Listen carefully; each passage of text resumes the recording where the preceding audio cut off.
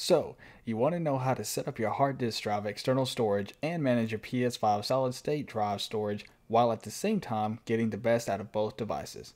Hi, my name is Kejame, and I'm going to show you exactly how to do all that by first showing you how to set up your hard disk drive external storage. Now that you have your PlayStation 5 and your external hard disk drive ready to go, first thing you want to do is power down your PlayStation 5. For recording purposes, I have mine completely disconnected. Behind the PlayStation 5, you will notice two USB 3.0 plugins.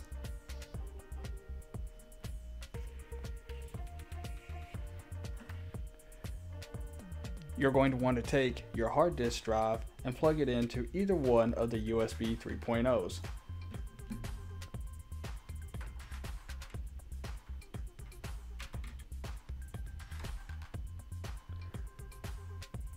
Once you have done that, it's time to power on the PlayStation 5 and get ready to format.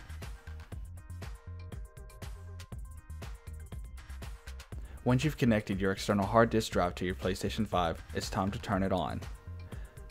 Once you turn it on, a menu will pop up asking you to format your hard disk drive.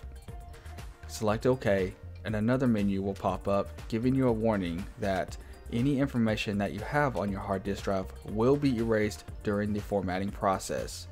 Make sure that you have any PlayStation 4 saved data uploaded to the cloud before you format this because it all will be erased during the formatting process.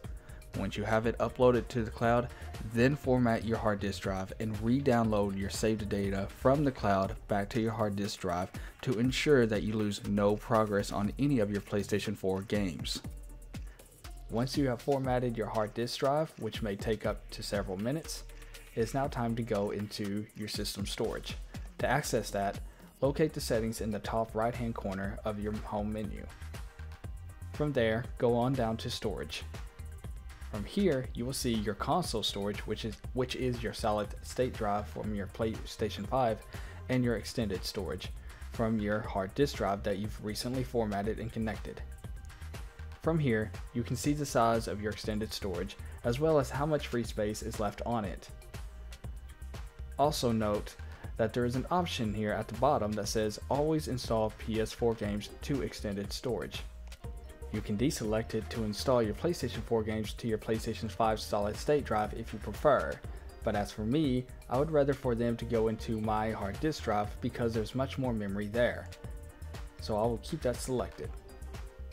Also keep a note that if you wish to remove your hard disk drive safely, there is an option to that at the bottom where it says safely remove from PS5. Doing this will save your hard disk drive from becoming corrupted should you just manually remove it without selecting this option. You'll now have access to your games and apps on your external hard disk drive. From here, you can choose what you want to delete, or you can also move them over from your external hard disk drive to your PlayStation 5's solid state drive. You can do vice versa from your console storage. Go into your console storage, select games and apps, and you can choose to move from your solid state drive over to your external hard disk drive. That also includes your media gallery and your PlayStation 4 saved data that is currently on your PlayStation 5. But keep in mind that if you have any PlayStation 5 games saved to your PlayStation 5 solid state drive, that cannot be moved over to your external hard disk drive only PlayStation 4 games can be moved over to your external hard disk drive while also being on your PlayStation 5 solid state drive. Your PlayStation 5 games can only be on your PlayStation 5 solid state drive. Now I'm going to give you some tips and tricks on how to best use your PlayStation 4 games. Right now I'm in my solid state drive on my PlayStation 5 and as you can see I have Skyrim, Cyberpunk 2077 and Ghost of Tsushima all PlayStation 4 games downloaded to my PlayStation 5 and the reason for that is my solid state drive performs much better than my external hard disk drive and since these three games I am playing most of the time I'm going to keep them downloaded until I get tired of them. From there I'll just move them over to my external hard disk drive. Now you can choose to delete your PlayStation 4 games from your solid state drive and then re-download them to your external hard disk drive. But keep in mind that with a slow internet connection, downloading games to your external hard disk drive may take much longer than what it would take to move them over from your solid state drive to your external hard disk drive and vice versa. Let's say you decide to pick up a PlayStation 4 game that you want to go ahead and put on your PlayStation 5 because it's going to perform much better. You know you're going to get a lot less loading time and the visible quality is going to be so much better. Well, if you have it downloaded to your external hard disk drive, instead of deleting it and re-downloading it to your PlayStation 5, just move it over.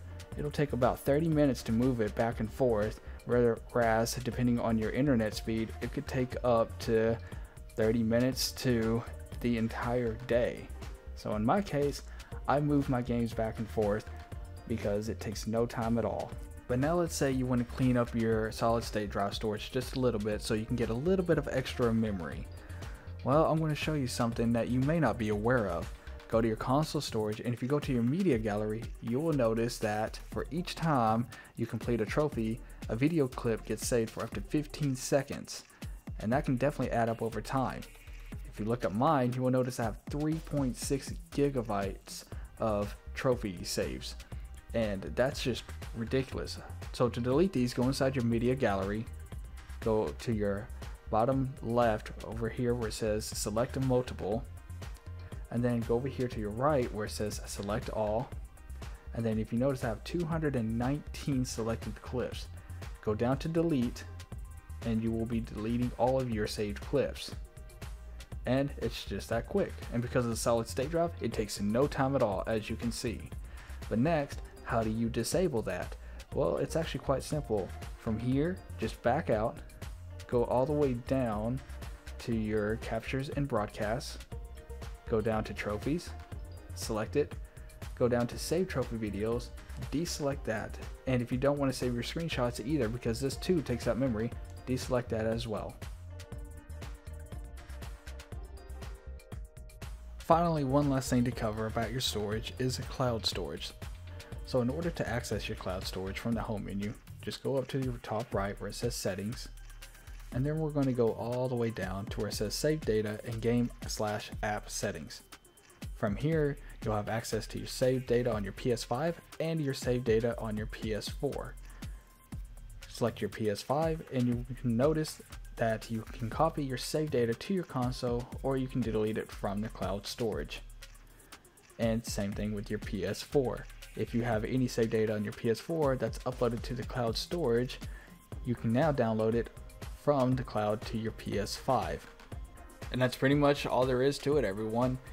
Uh, if you found this video helpful, be sure to bump that like button, hit that subscribe button. Also, if you have any tips and tricks yourselves, go ahead and leave them down in the comments. And if you have any more questions, let me know and I'll get back to you as soon as I can with an answer. Other than that, as always, guys, game on.